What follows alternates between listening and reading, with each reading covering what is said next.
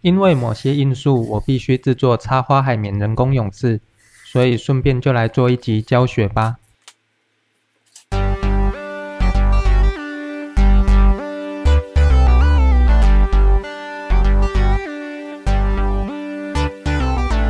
制作插花海绵人工勇士算是一个养虫的基本功，网络上已经有满满的教学了。不过，之所以要做插花海绵人工勇士，因为最近发生一件悲剧，就是比较早羽化的神马大都是放在瓦楞子人工勇士中拍摄羽化缩时摄影时，很不幸机器没电了。尽管这是非常令人懊恼的事，不过至少在隔天早上我发现的时候，它是非常顺利的羽化亮翅中。于是我很安心的拿相机拍了一些照片，然而当天下午我却发现它翻身过去了。翻身过去是羽化的甲虫常见的事，正常来说并不会影响羽化的结果。但倒霉的是我使用瓦楞子人工勇士，而且它的刺鞘也还不够硬。人工勇士过直的曲线使它的刺鞘爆开了，这对我来说无疑是一记重击，饲养近两年的成果就这样毁于一旦了。所幸这并不会影响它的存活和繁殖，因为我无法承担最大个体发生这样的失误，所以决定给它更好的人工勇士来降低风险，那就是插花海绵人工勇士喽。但我还是要替瓦楞子平反一下啦，这基本上是我第一次发生这样的事，很少遇到还在亮翅就翻车的状况，猜测或许是我拍照的时候干扰到它了吧。好啦，那就开始来制作插花海绵人工勇士吧。首先稍微比对一下虫体长宽度。一般来说，勇士长度约蛹的一点五倍长，宽度约蛹的一点二到一点五倍宽，深度也要蛹的一点二倍高。我们要挖出一个鹅蛋状的空间，所以可以找大小适合的盖子来帮忙一下。一个较大，一个略小的盖子，抓好距离后，像这样。用力压下去，你看有一个漂亮的圆形了。接着换这边，好了，你看不错吧？然后拿尺和美工刀，像这样连接两个圆的切线，哈，真像数学课在做几何绘图啊！好啦，这样就画好预定的大小了。找根汤匙开始挖吧。挖的技巧是不要太用力。慢慢由内向外挖，千万不要想一次到位，不然一个失误就很难弥补了。像这样边挖边刮，慢慢修正形状。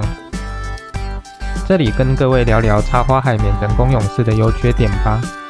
首先，优点就是可以非常贴近天然勇士的弧度，保水性也非常好，材质也不容易发霉或长杂虫，所以是资深虫友无可取代的材料。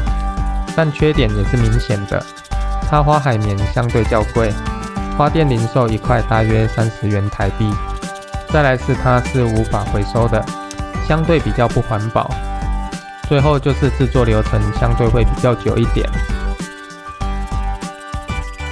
聊到这边也差不多做好了，用手指轻压来整形一下。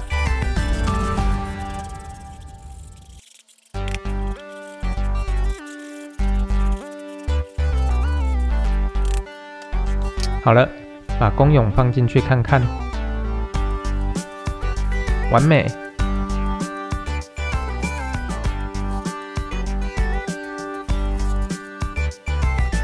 好啦，接下来顺便帮母虫做一下人工勇士吧，一样比对一下。因为要做略窄的勇士，所以用罐子来压出圆形。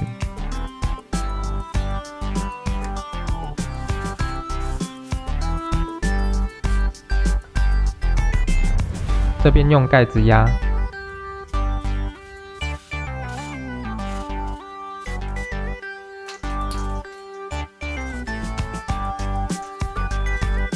然后画出切线。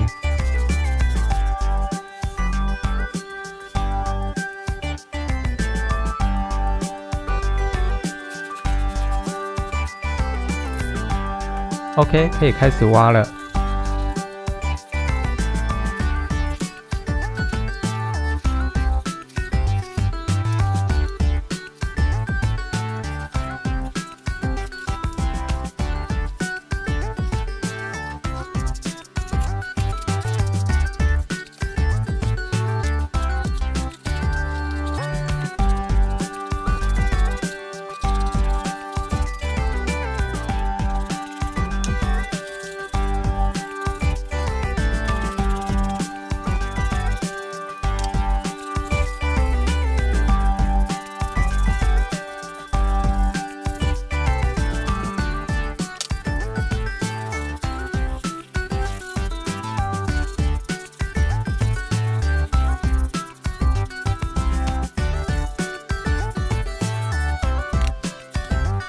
好了，把母蛹放进去看看，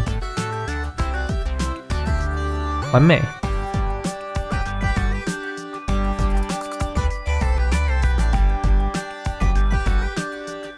把海绵放进饲养箱中，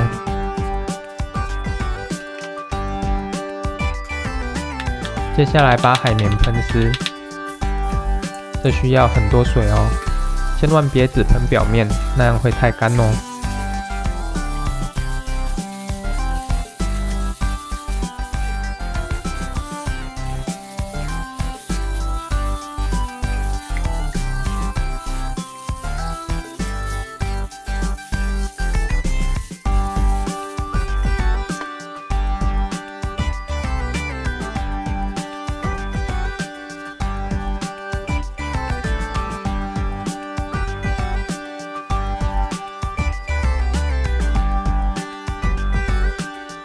觉得需要更多的水，不过也绝对不要拿去泡水吸到饱和，那就太湿了哦。现在可以把蛹放进去喽，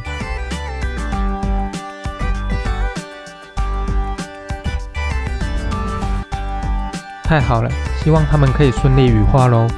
好啦，今天的分享就先到这边。喜欢我们的观众，请记得按赞、订阅和分享我们的频道，并记得开启小铃铛。